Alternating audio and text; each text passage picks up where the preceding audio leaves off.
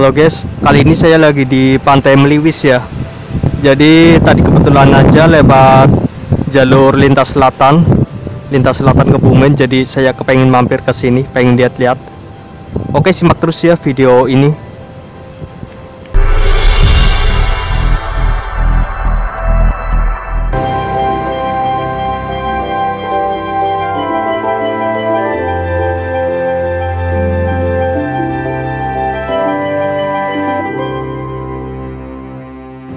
Ini pasirnya cukup luas ya guys.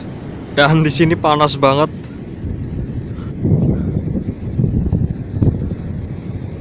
Banyak pemancing ya.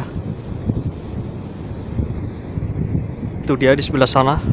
Ke, ke arah sana, ke arah timur itu banyak pemancing. Dan ombaknya ini sekarang lagi gede banget.